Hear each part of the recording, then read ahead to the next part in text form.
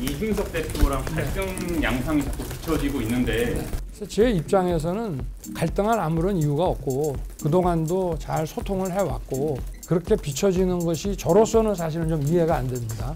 불쾌한 심정을 드러내셨다라는 보도도 있는데 이준석 대표에 대해서.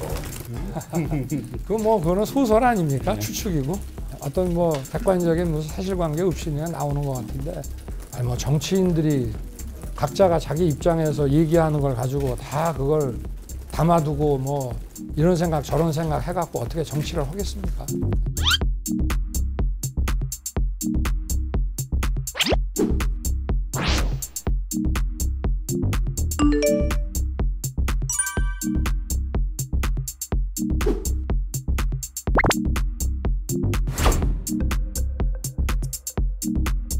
난 윤석열 총장 단독은 어렵다 보고 음. 그래서 윤석열 총장이 좋은 업자랑 같이 결합되면은 굉장히 시너지가 업자가 크다. 업자가 좋은 업자가 붙었어. 음. 그 이준석한테 야 너 와라 이러면 어떡할 거야? 나는 대통령 만들어야 될 사람이 있다니까. 유승민 너 이러다가 안철수 서울시장 되고 윤석열 대통령 되면 어떡하냐 이렇게 얘기하더라고. 죽을 떠야지. 아니야. 이준석은 안철수 서울시장 되고 음. 윤석열 대통령 되면 음. 이준석은 국회의원 된다. 난 네. 그 전에 당대표 될 거야.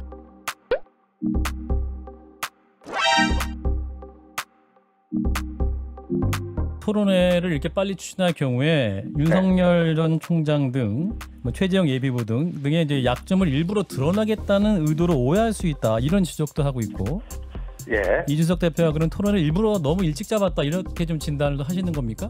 아니 당 대표 결정이라 할지라도요. 암만 대, 어, 대한민국의 대통령이라 할지라도 헌법과 법률에 에, 그 근거하지 않은 거는 탄핵도 되고 그런 거 아닙니까?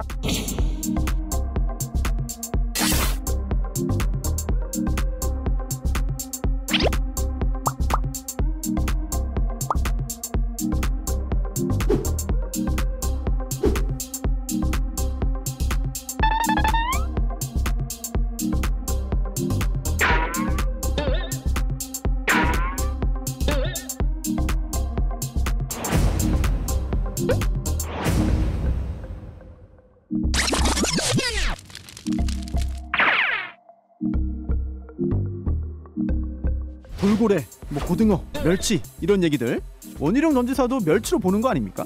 윤석열 전 총장이 국민들의 우상으로까지 떠올랐던 것은 문재인 정권의 편가르기 위와 내로남불의 불공정에 맞선 공정에 대한 그런 표상으로 떠오른 점이 있잖아요. 윤석열 전 총장의 공정이라는 것이 동물의 왕국의 공정에 불과한 것이냐